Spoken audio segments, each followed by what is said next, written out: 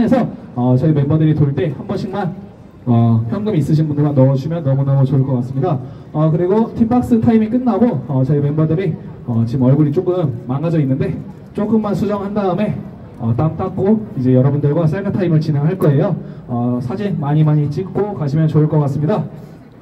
네 마지막으로 유성 씨 할 말 없을까요? 네 없습니다. 네 저희 팀의 막내 태영 씨 마지막으로 할 말 있을까요?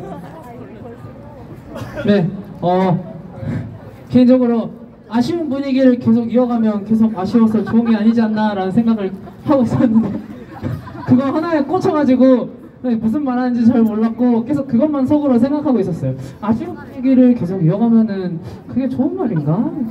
그 아쉬울 만큼 즐거운 게 계속 이어진다니까 뭐 공연이 좋, 좋다는 얘기 같기도 하고 근데 결국 아쉽다는 거는 좋은 감정은 썩 아닌데 네, 오늘, 날씨가 좋아요.